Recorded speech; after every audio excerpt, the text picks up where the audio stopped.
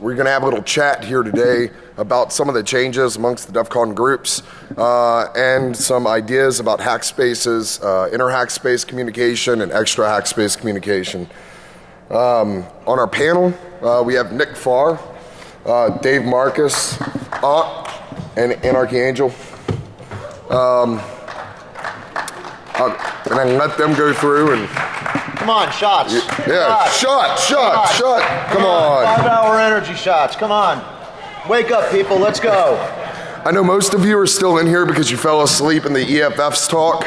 So if you're just waking up, um, we're going to uh, talk first about the DEF CON group's uh, point items. I just became the DEF CON group's coordinator about a month ago. Um, we have some very inter- uh, interesting changes coming along. Yeah, right. Black needs a beer. Who's got a beer? Yes, who has a beer? Anybody have a cold beer? No? Bring Black a beer. Bring it here. I'll take it. Um, excuse my voice. I've been yelling at humans all day. Um, so with DEF CON groups, we've had some interesting things. Domestically, everything's pretty solid. You know, we have a pretty good infrastructure. Uh, uh, I'm good. Yeah, um, we have uh, some, you know, domestically, we, we have a pretty solid infrastructure. People kind of get it. better treasure They understand what DEF CON groups are. Uh, internationally, we've had some issues. Um, just to get a few things out of the way, you cannot be DEF CON of a country. So, no DEF CON of India. Uh, you can't copy the defcon.org website and then start your own up and start charging admission. Uh, I mean, it's kind of crazy that I have to be saying these things, but it's true. I'm talking to pretty much all DEF CON groups in India. Uh, on that note, um, it's a privilege to be a DEF CON group, um, and you know, treat it respectfully. So, uh, with that, I'm going to go through and uh, let everybody tell you a little bit about themselves. Nick. Uh, thank you, Blakdayz. I'm Nick Farr. Most people know me for my work with Hackerspaces back in 2007. Uh, back to DEF CON, way back then, we organized a trip bringing people from DEF CON to the CCC camp in Germany, uh, where we showed people like Bre Pettis and Elliot and um, David Holden, a lot of people who went back to the United States and started Hackerspaces um, based on the German model um, that was going on over there. And uh, since 2007, there's been an explosion of hackerspaces in the United States, um, and now uh, Fucked up every single one of them. and and Dave has his own opinions on that. Uh, and so that's why I- I'm happy to sort of present just a very brief overview of uh, what's been going on since and some of the and discussing a lot of the things that have been happening since 2007. Dave? Sir.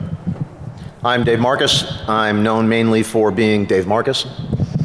Um, doesn't really require a whole lot of other explanation. I'm the my day job is being the director of advanced research and threat intelligence for McAfee. Um, but with uh, Nick, I helped start a hackerspace in Maryland called Unallocated Space. So I'm, I'm happy to share my horrendous, horrible experiences uh, of, of doing that and working at a disgustingly close uh, relationship with Nick, who is a really tedious, tedious human being to work with. Um, so there you go. I'm uh, Mike Guthrie, also known as Anch. Um, I run, I'm the coordinator for DC 503 in Portland, Oregon. Um, I'm also a member of the Hackerspace Brain Silo in Portland, Oregon. And um, I'm calling bullshit. On Why myself. not? on yourself. Uh, I'm Adam Espedia, also known as Anarchy Angel, and um, I run uh, DC 414, which is a Milwaukee chapter of uh, DEF CON. And um, well, I hack shit. Fair assessment. so, um, Nick has a little presentation about uh, just in general um, hack spaces. Have fun. Yeah, tell me about Renderman's talk, what, like what happened today. I, I don't do the bullshit. You are the bullshit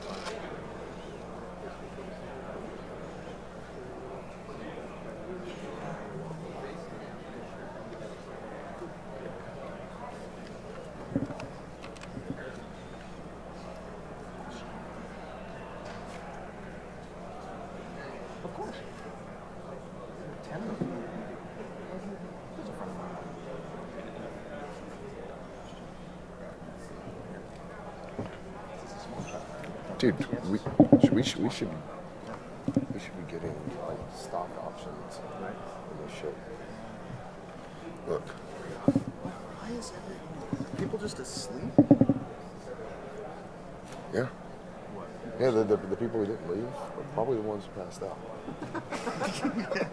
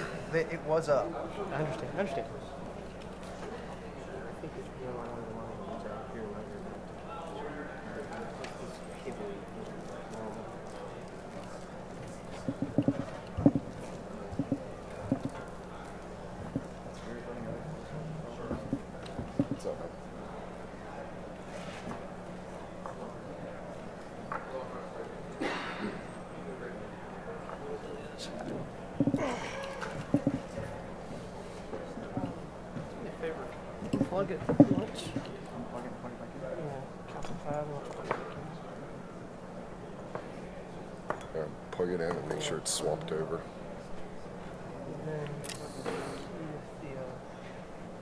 is there a function in the screen? Yeah, no, I mean, it was on the screen. I Okay. will show you that it'll detect your display. I've been running into other dorky stuff, so uh, I, I, I believe you. So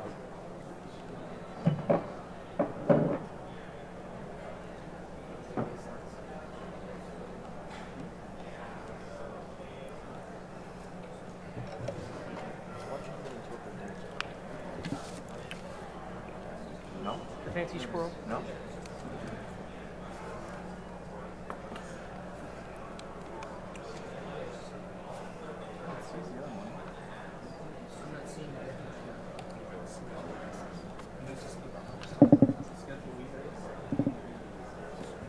There you go. There you go. That's there you up. Go. There you You're go. up. Okay, now.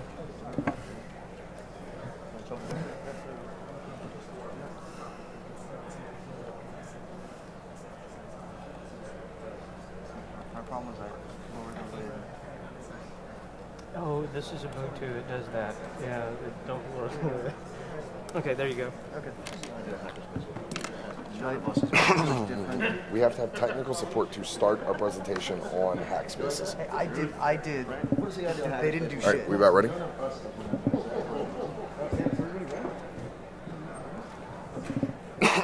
your mics on? never do that. You never do that. You always go. All right. Hey, is, is that turned on?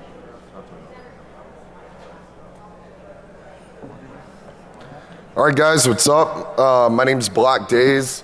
Uh, I'm the DEF CON Group's coordinator for defcon.org. Um, we're going to have a little chat here today about some of the changes amongst the DEF CON groups uh, and some ideas about hack spaces, uh, inter hack space communication, and extra hack space communication. Um, on our panel, uh, we have Nick Farr, uh, Dave Marcus, uh, and Anarchy Angel. Um, uh, and I can let them go through and Come on, shots. yeah, shot, shot, shot. Come Five on. hour energy shots. Come on. Wake up, people. Let's go. I know most of you are still in here because you fell asleep in the EFF's talk. So if you're just waking up, um, and uh, with that, Yeah, I think uh, alluding to what Dave was talking about, um, I, I've been involved in two hackerspaces um, that are that took a little while to get going, and one of which is currently in a struggling phase. Um, and so I wanted to instead sort of focus on the negative. I wanted to focus on the positive and look at what an ideal hack- hackerspace looks like. Um, but before that, if, if I may be allowed to do so, um, I'd like to plug my Kickstarter. Some of you might remember uh, a couple of DEF CONs ago, I ate a 20 patty In N Out burger as a fundraiser for the Hacker Foundation. And now that I have a Kickstarter that's in process, I said I will repeat what I did several DEF CONs ago if Sierra Zulu makes its $50,000 funding goal by 10 p.m. tonight. Uh, that's the URL, uh, the URL is so if it gets funded by 10 p.m. tonight, I will eat a 20 patty burger at the Ninja Networks party, which uh, will probably get blogged and tweeted, and you can see it or join in there. And for every additional K above 50 that gets funded, I'll eat one additional patty. 20, a stack of 20 patties. A stack of 20 as you patties. Yeah, you, you could say that, yeah. You'll eat, you're, you'll eat a Nick Farr's worth of patties. There you go. That's disgusting. I know. Just like you, Mr. Dave. Uh, but getting back to the point, um, I wanted to, f- again, focus on the positive. What does an ideal hackerspace look like? But to start off with, uh, a lot of people get hung up on what the definition of a hackerspace is, and I have a very, very simple definition. It is simply a physical space where hackers gather to hack things together. Not that complicated. Hackerspaces go by many, many other different names. Um, but whatever you decide to call it, if it fits that definition, I'd call it a hackerspace.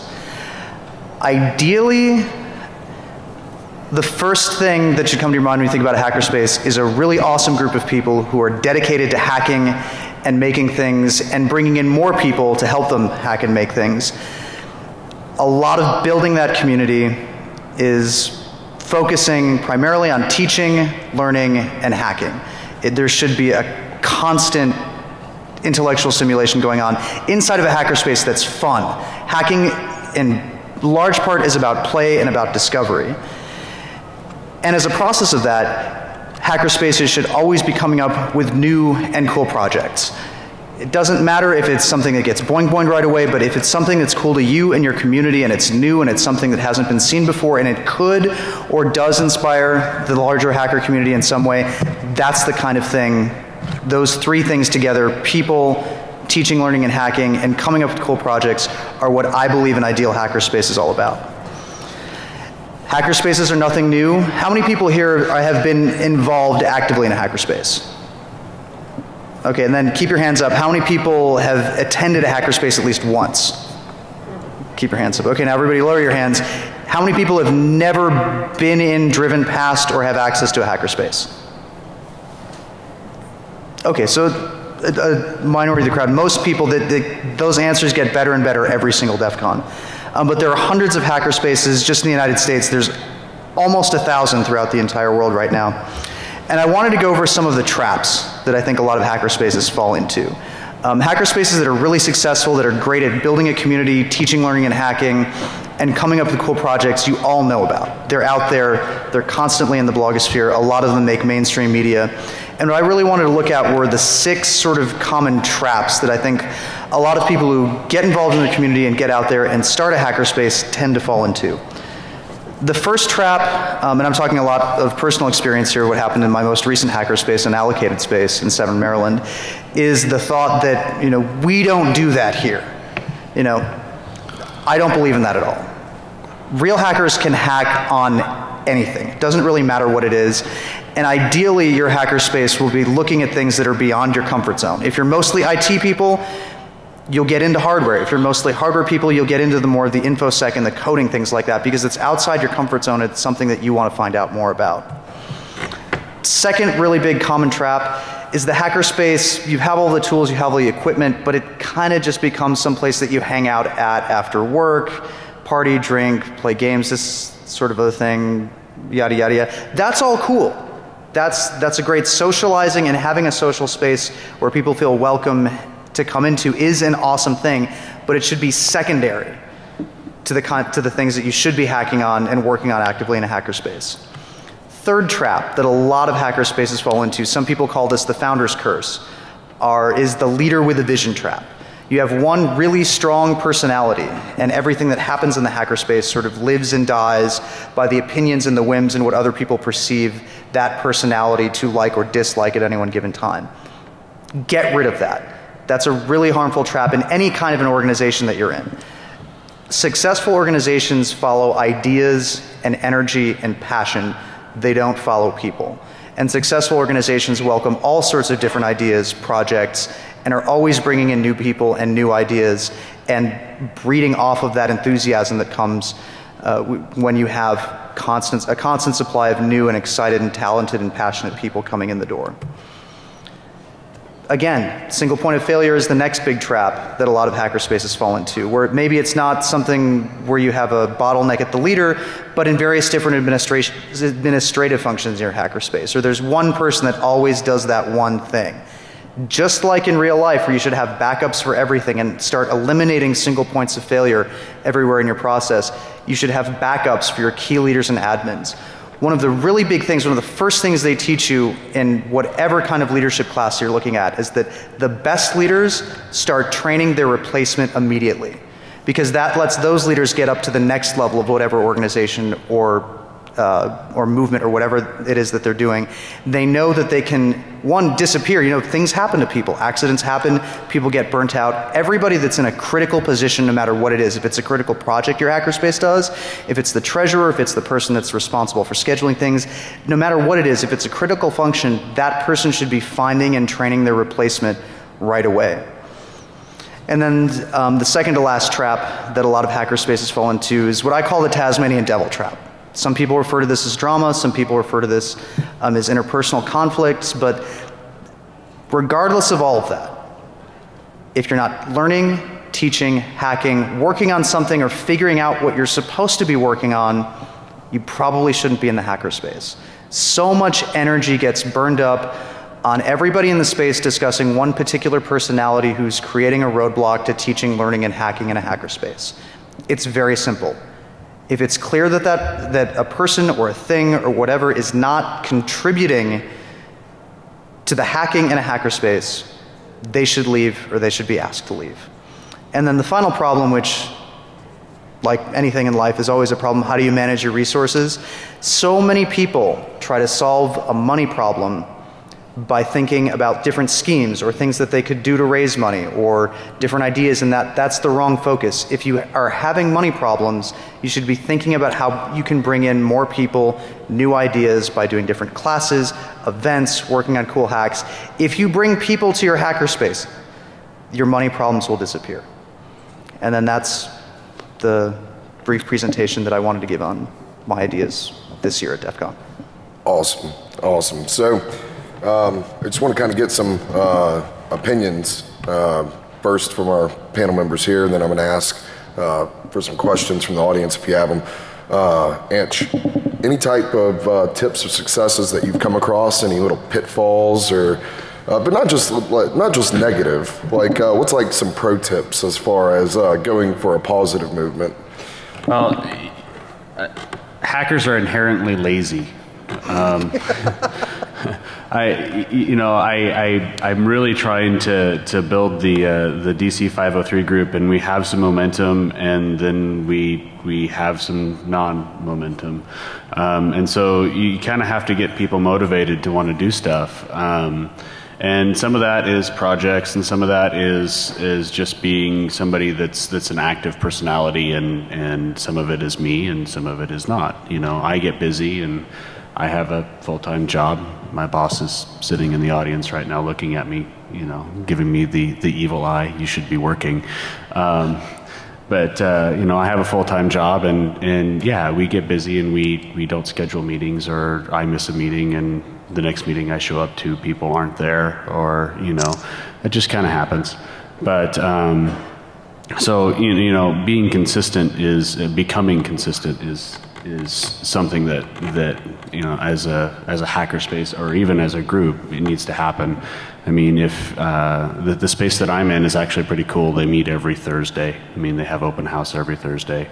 We have um, uh, exploit night every Wednesday night, you know, every other Wednesday night, something like that. Um, it's it's pretty cool. Um, but being really consistent and understanding that people are people and people get busy is really important. Fair enough. Dave? Yeah, consistency. Um, one thing I think we kind of failed on from the beginning, and it's our own fault, is not having a lot of interesting classes that ran at a scheduled period monthly, right? So we we would have weeks that were really really active when we had a lot of people at the space, and then we have periods of time when it wasn't. Um, so by not having a consistent schedule of doing something on a Wednesday night every single week, something on a Thursday night every single week, um, there it defaulted to the clubhouse environment very very quickly. Um, so really having an idea of six or seven events to run monthly is really really helpful. Um, whether it's a night dedicated to hardware, same night monthly or same night weekly. Those kinds of things do a lot to bring people in on a consistent basis. Um, and then pick, make sure you pick your space correctly where you physically locate it. Location, location, location, right? Um, being located next to a school is a good thing.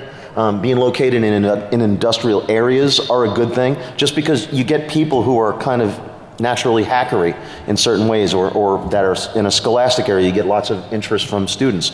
If your space is located in the wrong area it, you could be behind the eight ball from the beginning. So location consistency and you know like nick had talked about before the financial model is a real big deal too. We tried a very different financial model at unallocated didn't we nick? You know um, a key holder centric financial model where the key holders were responsible for, for the financial running of the space and everything was just donations. We had no membership or anything like that and it was a good idea for some things and a really problematic idea in, uh, in other areas. And you can't change your financial model in the middle of it either. Then you become the Netflix of hackerspaces, right? You change your financial model when you're not offering anything new. Everybody gets pissed off at you. Um, and if you don't have anything new to offer, you don't have anything new to offer. So. Um, uh, something else that's that's I found is really important is having space for people to actually work. Uh, um, the, the space that I involve, I, am involved in right now, it, it, becomes cluttered really, really fast. I mean, you get donations of hardware and, and you know, various pieces of stuff that people don't want, and and you have people that don't turn it away. You, you know? become their you become their drop point. Yeah, we had we had that same problem too. People would just drop CPUs off yeah. to us. Yeah, I, I, I'm not kidding you. I, I walked into the space one day and there's, there was a stack as tall as me of rack mount, rack mount PCs that yep. were worthless. And, it, and if you're if you're doing technology disposal, that's real cool. If you're a de, if you're a technology disposal place, because then you can make money from the recovery of the circuit boards. And but if you're not, what you are is somebody else's fucking warehouse. Yeah. Know? And and that shit takes up space real damn quickly.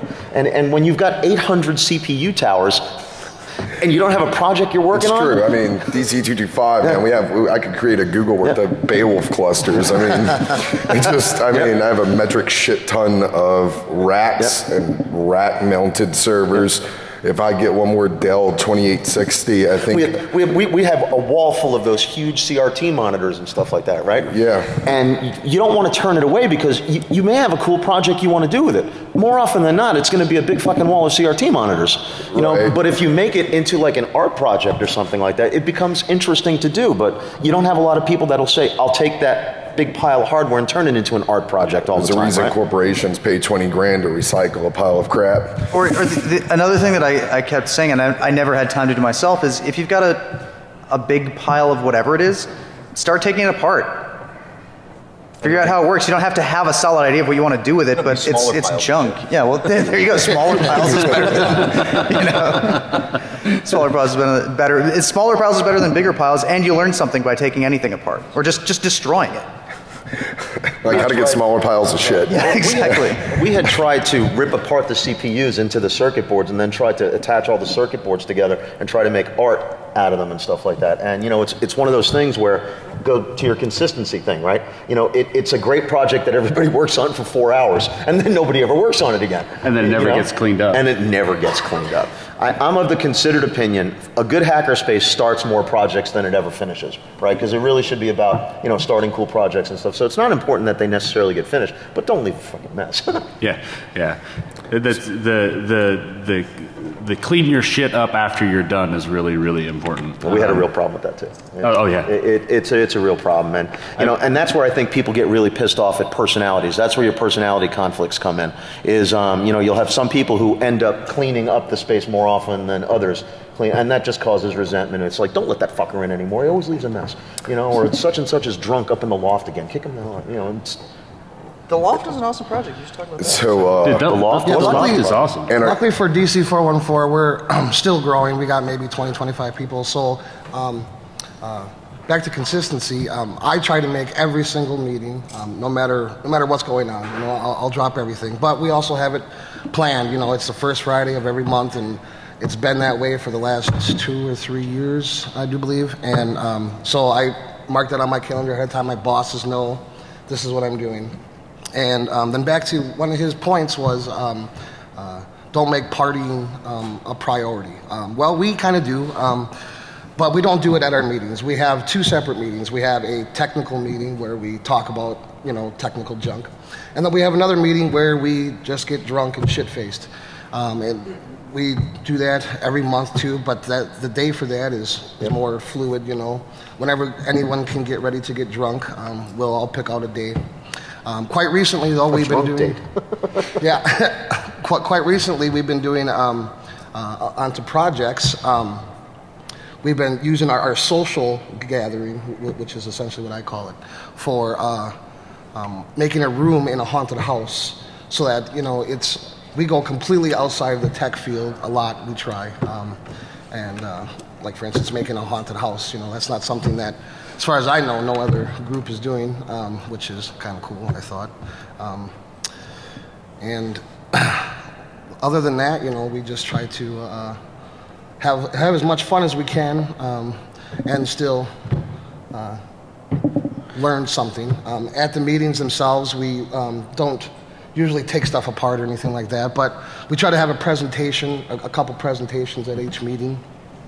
Um, and the presentations, you know, um, reach from failing at web hacking um, to uh, making hydroponic bays for plants. And um, plants. I love plants.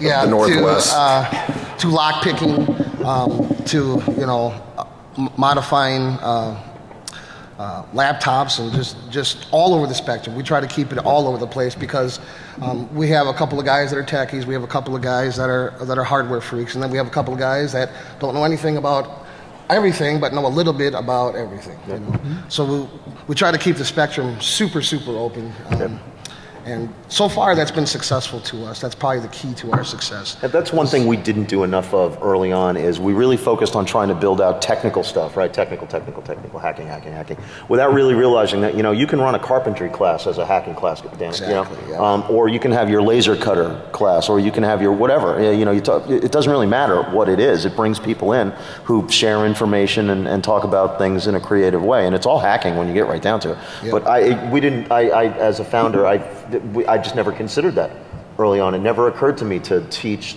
you know, carpentry at a hackerspace, right? Right, yeah, You know, yeah. and, and things like that. I think they all have their place. And fuck, you want to teach something, get up and teach a class.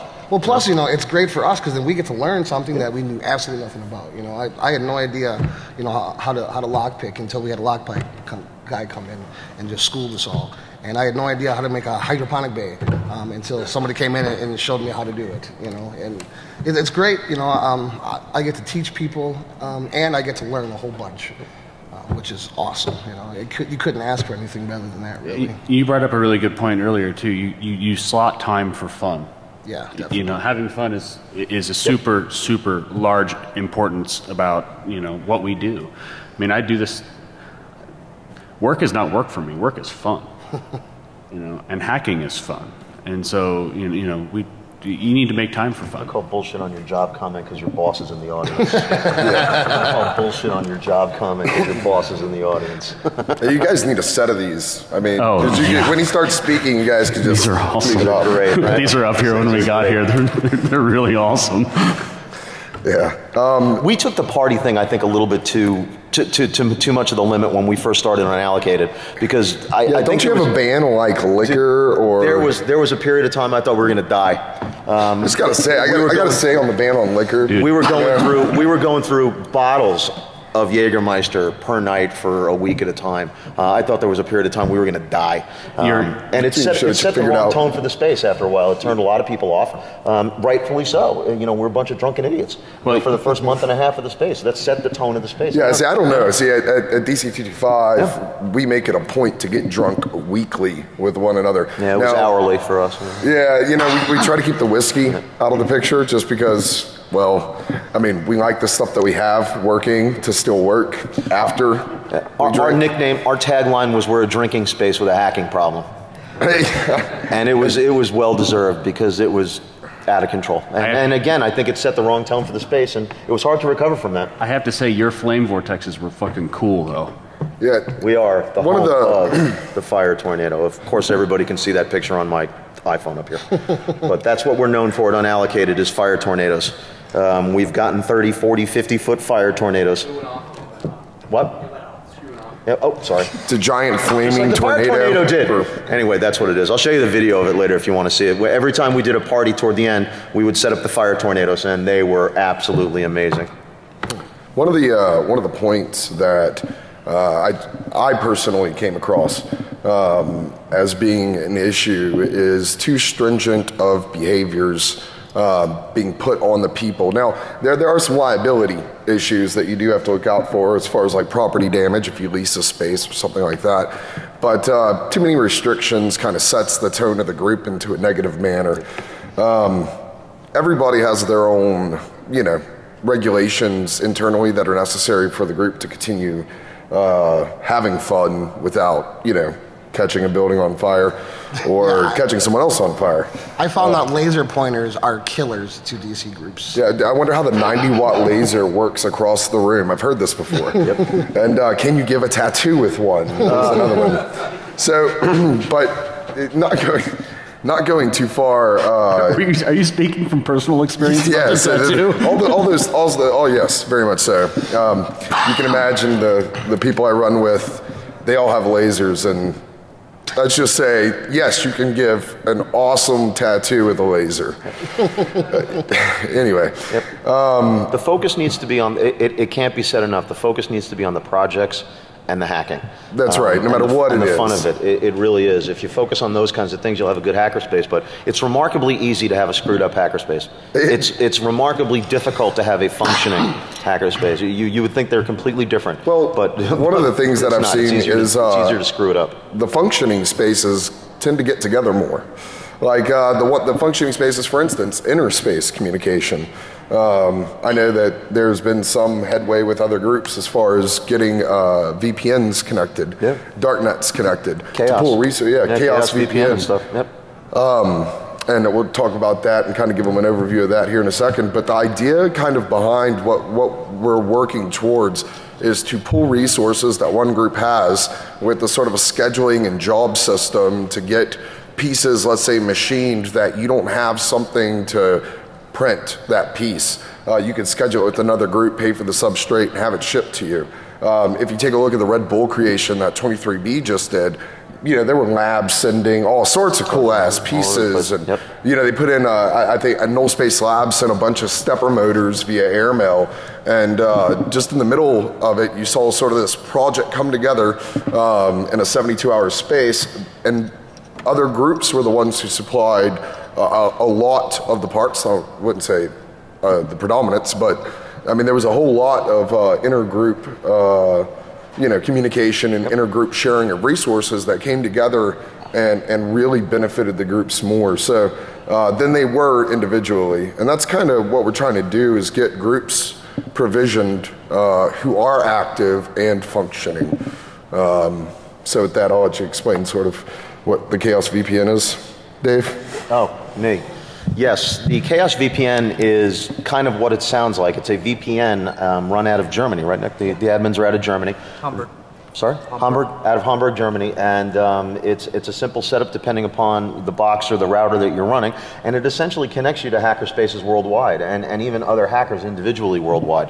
Setups are, are relatively easy. You can share whatever resources on the Chaos VPN that you want. At unallocated, we had shared our Minecraft server, our wiki, and we were even looking at sharing out um, our VM farm actually to, to be used for remote pen testing and, and stuff like that. And there's a whole list of the Chaos uh, VPN wiki that says this is which hackerspace is connected and these are the resources that they actually share out. So if you're looking to do Jabber or you're looking to do open Quake tournaments or something like that, you can hop onto the Chaos VPN and do it, or you can get on the communal bulletin board or the communal wiki and say, I have this, these resources I'm willing to share, you have these resources you're willing to share.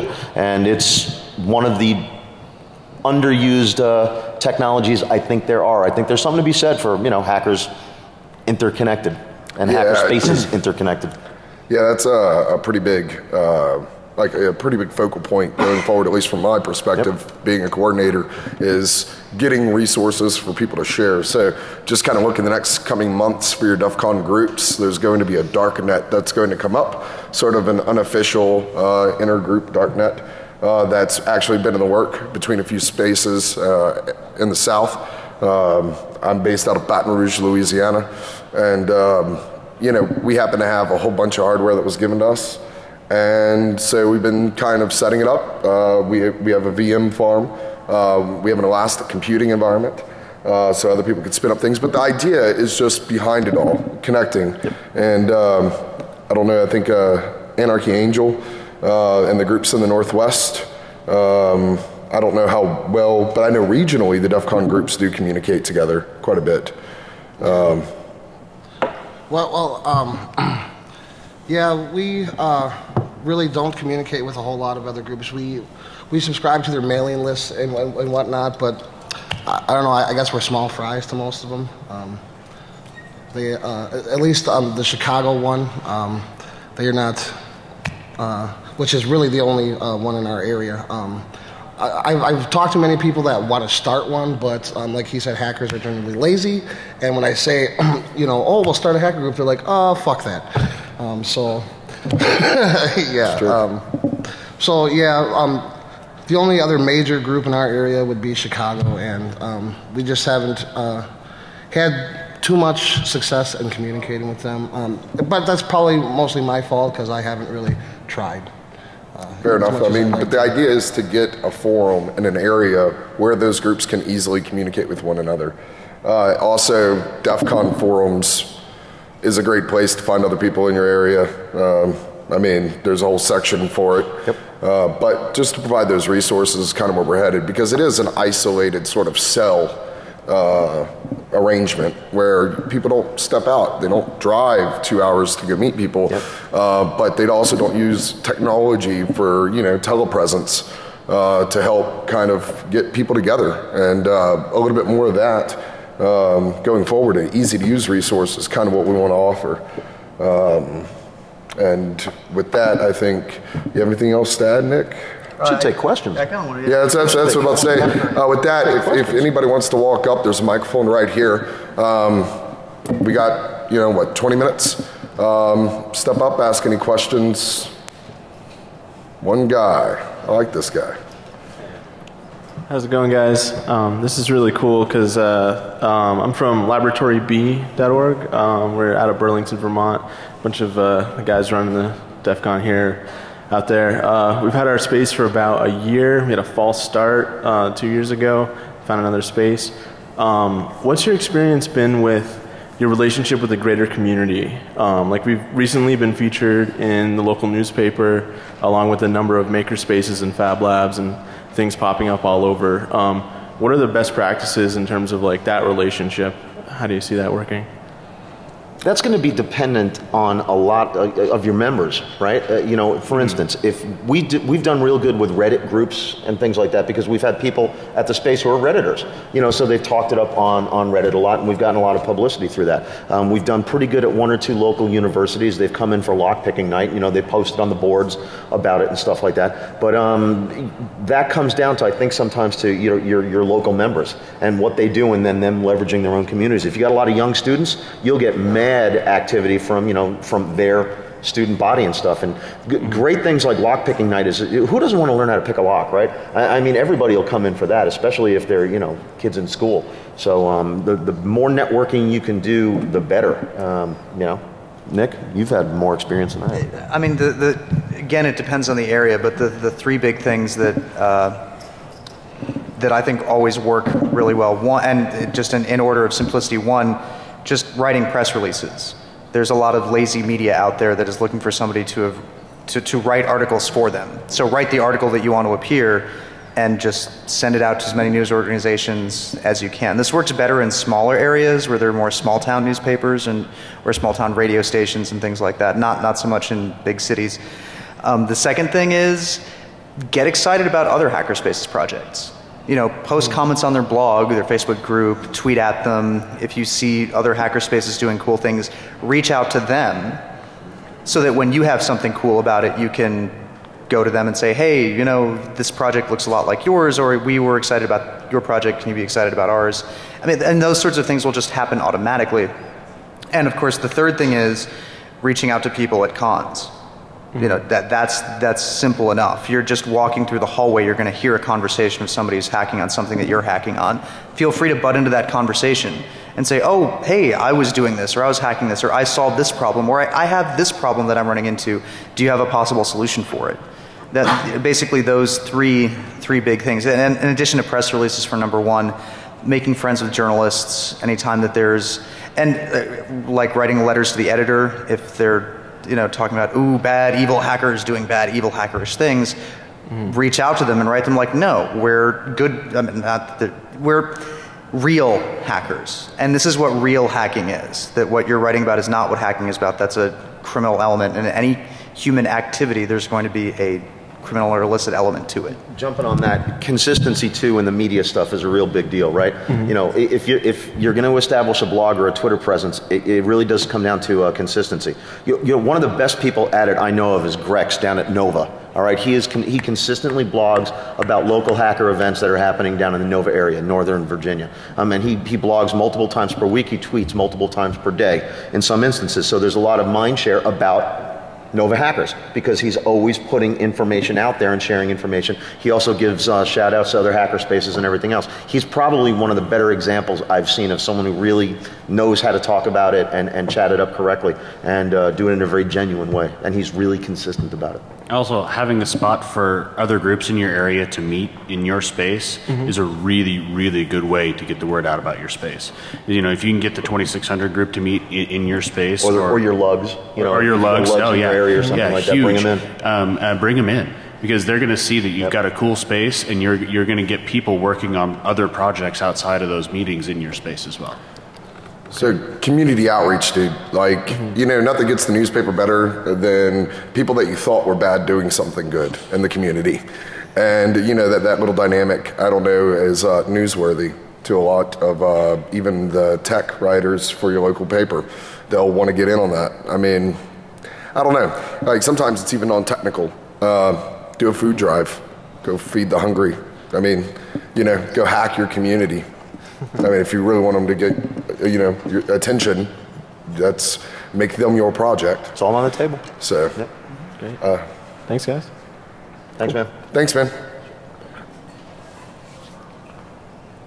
So, what can you do about a neg- uh, neutral, negative, or defunct hack space? I mean, especially when they're claiming that they are the official hack space of the area. Start a new one. There's no such thing. Yeah, I mean, are we- so you're talking about You like what you do? spaces or Break, groups? in, or break into their hackerspace and change their fucking locks. That's what you do. all right. So those tedious bastards can't get back into their building. Shut them down. Um, start your own space. Honestly, uh, you start your own spin-off space. Um, if, if you don't like the vibe at Hackerspace A, go and start Hackerspace B. Yeah, there, there is no special thing. I, I, I deal with this routinely. A group starts up in an area where there was a guy who wants to retain some sort of control over a group that really doesn't exist. Yep. And we always say first, you know, communicate with them. But if they're being an ass, um, start your own. I mean, nothing works better than success at getting rid of the defunct, the defunct ones. You know, I mean, just one up them. It's the best thing that I got for it. I mean, does that answer your question? Yeah, pretty much. Yeah. I mean, you want to build a better hackerspace.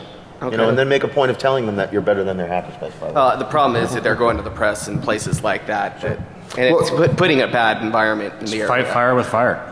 Go to the press back. Just hack. Yeah, say hey, another one started up, and this is what we're doing. Build I mean, space and hack. I mean, you know, and- you don't have to go head to head. There, there is no official No hacker space of anything. There, there's and if they go and, and that's the thing if they go to the press and say we're blah blah blah blah if they don't eventually if they don't have anything to show for it they're going to look like the charlatans they are. Okay. And they should be Let, let, ridiculed by the rest and us. in the meantime while they're right and in the meantime while they're making fools of themselves come up with something cool. Yep. Yeah, more than likely they'll end up on like attrition or somewhere like that, and things fall off quickly from there. And they, a lot of those go away after a while too, don't they? Mm, they fade off. They- They'll just burn out and die eventually. Anyway, it's been my experience is, is that you know they'll, they'll go away. right. You guys will still be there hacking it up, Cool. dude. Shot. Yeah, yeah. Gonna hit somebody hard. You're going to hit those. somebody with those things, Dave. That's the goal. Yeah, I know, right? it's, it's in the right zone, so I'm only gonna hit those two guys right there. So Pedestrian. I'm got still picking my next seat very carefully around here. uh, speak up. Sorry, uh, I used to be able to speak before last night. Um, when you started this conversation off, you had mentioned that you had gone to Germany to see what they did in their spaces. Can you tell us a little bit about uh, how they are different and uh, maybe speak in terms of maturity and how their groups have evolved, whether they're more stable, whether they're accomplishing more, that sort of thing? Um, in, as far as how they're different, what I I'd Google for something called the hackerspace design patterns. That's that's basically that that will illustrate. Um, in essence, what they do and how they're different. And, and it's not to say that what's going on in Europe as a whole, uh, it's not like a shiny, rosy, happy paradise. They're just seven or eight generations ahead of where we are. And that, that's a real big deal. You know, I was, um, Nick and I were talking about this before. Is I was in um, the last time I was in Berlin, I went to c-base for the first time, and, and, and they've been around for a while. Um, so they've, I don't want to say they have a roadmap, but it's a mature space. You know, it, it's a mature space with developed areas and an established set of members and people that go there. Um, so it, it's hard to say, you know, how they've gotten there with the exception of maturity over the years. But it's it's a developed dedicated area. But they're not all that much different template wise honestly than unallocated or any of the other spaces I went to. They were different size wise but it was it was the fact that they had mature broad memberships. And and I really think at the end of the day it's the people at the space that make the space right? Um, and and that's probably what I would always default to is is the people will make a good space. So, so in a sense, what you're saying, there's a critical mass involved. That time has just allowed them. Mm, pardon me. Uh, critical mass. Time has given them that op- that opportunity to grow and create the critical mass that maintains them. Yep. But thank you. But, but I'll, I'll, I'll also add to that that I think if you look at the growth patterns of hackerspaces in Europe and growth patterns of hackerspace in the US, we've grown much, much faster than anybody could have imagined. Going from two or three places that you could call a hackerspace to hundreds in the space of really three years um, is, is something remarkable. And the fact that, it, I mean, two or three, def, two DEF CONs ago, uh, you know, a bunch of people were coming up to me and asking, like, how do we start a hackerspace? How, no, how did blah, blah, blah, blah, blah. Nobody asks that question anymore because it's something that's been done hundreds of times. The, it, you can Google this answer very, very quickly. And that's something that um, we have a lot to thank the Germans for for the design patterns. Um, and I think that we will get up to that level of maturity quickly. But right now we're sort of in the first kind of decline phase. Any, with anything that grows very rapidly, you'll see a little bit of a decline before you get the next big acceleration in growth. Thank you. Thanks, man. Yeah, I'm Sai Tech from Alpha One Labs, and um, we're kind of uh, in the trap of like the leader with a vision type of space, and it's actually it's worked out for us for three years in the, way that we can maintain the space and keep it going, and there's not too too much fluctuation financially.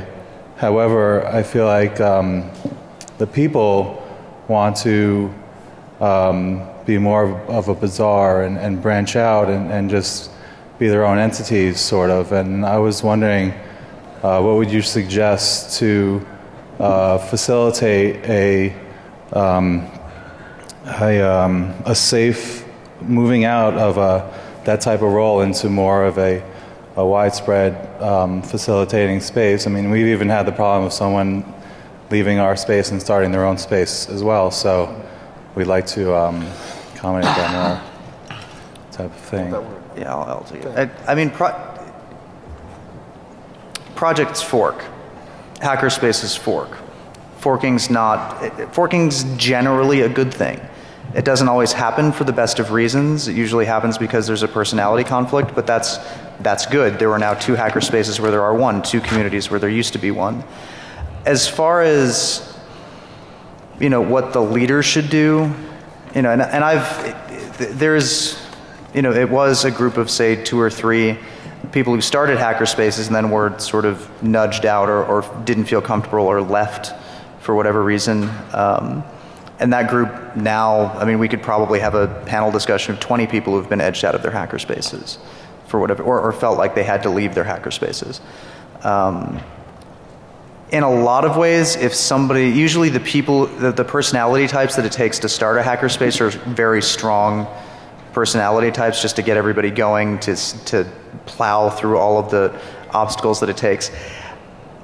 And then usually when that person, you know, is no longer needed to be in that sort of leadership visionary role, the best thing for them to do to let the space grow and mature is usually just to step aside entirely. And not go off and start a new hackerspace, but go and be a regular peon member of another hackerspace and let the hackerspace grow and mature in and of itself. You know, that your, your people fall in, people establish certain patterns at the beginning of any kind of a relationship, and for whatever reason, those patterns will persist. And until you feel that those patterns have been broken, um, it, it's usually better to just absent yourself. Cool. Thanks. Dude, Thanks. Watch out. Yeah, incoming. All right, we, uh, we have what, maybe four minutes? Or two minutes? Yeah, I'm actually going to pack up and leave. Okay. I gotta go. I gotta go to another talk. So Okay, I, uh, all right, five minutes. All right, next question. Yeah. I have a question Dude, for the uh, for the newer. you're, uh, you're you want to come to my talk too? Let's go. I want to go to your talk. Okay, Go ahead, man. yeah, uh, when you talk about uh, growth, especially for the, the, the newer groups, uh, should they be taking more of a messianic approach of actually going out and trying to get members? Because the people that, that do want to be in a local, uh, they, they're, they're going to find the group. I mean, how, mu- how much effort should really be put into growing the group? Well, all right. So, like membership drives, if you will, kind of the the things behind it. Uh, you can go out, and um, we have a lot of people come to our group who drive for like an hour and a half because they really want to be part of something. Uh, but if you're in that lull phase, getting drives. Um, just by putting your group out there, uh, mentioning where you're at, making it good public uh, awareness as to, hey, we're going to be on Tuesday at this place once a month or every week, um, and make it something that isn't uh, that's openly accessible. You know, whether it be like like our group plays trivia every Tuesday at a local bar, and that makes a real sort of easy entry. And other people in the room hear you, they see you, they see you as a cohesive unit, and they kind of gravitate towards you. Um, Let me add to that too. Is look at non-hacker spaces or non-hacker places or non-IT places, right? Um, I think one of the most important things to do is make hackers out of non-hackers, right? You take your non-hackers and turn them into hackers. To, to do that, you have to go to the places that the, the non-hackers are, right? So if you're looking to expand the base, i it's a good thing to reach out to some of those areas where you wouldn't necessarily find hackers necessarily, but but looking into those other communities. Schools are great places. Um, engineering universities are great places. Things like that. Reaching out to those kinds of pockets of people are good ways to bring in new blood because they think differently um, than we do, and I, I think we become better hackers by bringing in broader sets of uh, of talented people. I could add to that by saying um, what's worst, what's worked for us uh, um, a lot is um, uh, word of mouth. Um, word of mouth has been great for us. Um, we've gotten probably 50% of our membership that way. Um, uh, the other 50% usually find us on defcon.org, um, so that's an awesome resource. We've got one minute. Oh, and um, yeah, uh, one minute. Okay. Um, yeah, that's been awesome for us, and um, we hand out flyers, and we also have a area that all the groups in Milwaukee um, use, and for that has, has been great for us. As you know, hate to cut you short, but I'm giving the signal that it's time. We do have a Q&A session directly across the hall in the Q&A room. Uh, if you have any questions you want to keep ask. But uh, sorry, I wanted to thank you all for coming out. Um, I hope to see you all soon um, around the conference. Just come by, say hi. Uh, have a great day.